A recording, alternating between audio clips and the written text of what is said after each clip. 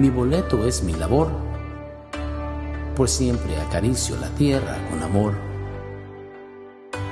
Mi orquesta diariamente me regala una actuación magnífica.